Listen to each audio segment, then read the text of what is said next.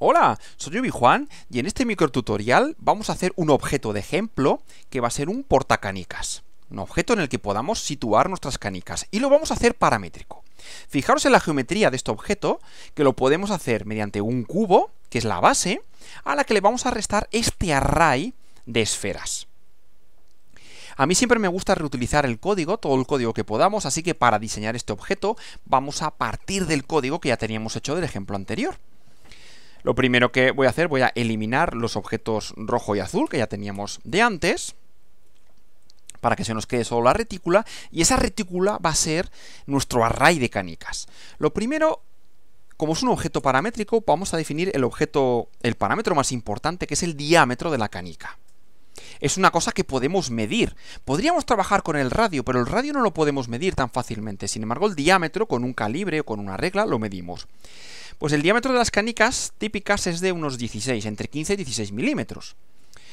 En el programa anterior utilizábamos el radio, así que el radio lo quitamos y aquí la esfera ponemos que diámetro de la canica partido por 2. Ahora, la distancia entre canicas la vamos a poner en función del diámetro de la canica. Vamos a decir que la distancia entre canicas, si hacemos que sea igual al diámetro de la canica, se quedan muy empaquetadas, unas tocándose tocando una a la otra. Queremos que haya un poquito de distancia entre ellas. Pues esto ya depende, pues por ejemplo, pues 2 milímetros. De manera que se separen un poco. Y ahora queremos hacer un objeto que pueda, pues con tres canicas, por ejemplo. Claro, fijaos, si ponemos en igual a 3 nos salen 4 porque el código lo teníamos hecho para una cuadrícula. Quería... Aquí hay tres cuadros. Pero ahora, lo que queremos es que haya tres esferas. Pues vamos a cambiar la semántica de esto Simplemente le decimos que el tamaño de la cuadrícula ahora es n-1 y el número de, canicas es una menos y lo ponemos aquí. De esta forma, con n especificamos la cantidad de canicas que queremos que sea en este caso de 3x3 canicas. Ahora lo que nos queda es hacer la base. Pues vamos a definir el tamaño que queremos para nuestra caja, que por ejemplo vamos a hacer n por d. Este es el número de canicas por la distancia que hay entre canicas. Y la altura vamos a hacer que sea igual a el diámetro de la canica partido por 2, es decir, a su radio. Lo que pasa que vamos a darle un poquito más, ahora lo veremos, para que tenga algo de fondo. Vamos a hacerlo así. Ahora dibujamos nuestro nuestra base, que es un cubo que tiene de dimensiones box size, box size y box h. Centrado, center igual true. Lo dibujamos y aquí lo tenemos. Ahora lo que tenemos que hacer es mover o bien las esferas o bien el cubo para que se queden alineadas. Yo lo que voy a hacer es que voy a mover el cubo hasta que se quede aquí en el origen.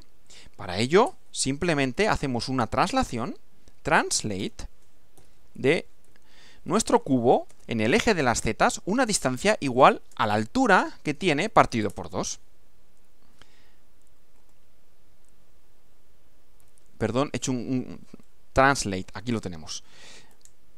Oye, perdón, y es con el, con el, lo queremos mover hacia abajo. Aquí estaría. Resulta muy útil cuando se hacen este tipo de objetos utilizar la visión de rayos X, que solo podemos hacer con el símbolo porcentaje y podemos ver qué es lo que está ocurriendo aquí dentro. Y así vemos que entre la esfera y el cubo aquí queda una distancia, que este es precisamente este 1 que hemos definido aquí. Si no le ponemos este 1, pues las esferas se nos quedan a ras, con lo cual el cubo este no tiene base. Así que vamos a darle al menos una base de un milímetro. Se puede poner de más, pero con un milímetro pues está bien. Ahora quitamos la visión de rayos X. Y ya para terminar, solo nos queda por hacer la diferencia. Aplicamos el operador de diferencia de manera que al cubo le vamos a restar las canicas para que se hagan los huecos. Y ahí tenemos nuestra pieza. Después ya, si la imprimimos a la impresora 3D, lo que nos queda es esto. Y lo interesante es que como es una pieza paramétrica, pues ahora, si lo que queremos es hacer es un portacanicas de cuatro canicas, pues simplemente le decimos, oye, quiero cuatro canicas, y se nos genera automáticamente la pieza para cuatro canicas. Esto es todo desde Obi-Juan Academy. Importante, se me ha olvidado comentar, que no se os olvide comentar el código. Y una vez más, yo os lo voy a dejar comentado en la web. Ahora sí, esto es todo desde Obi-Juan Academy. Que el OpenSCAD os acompañe.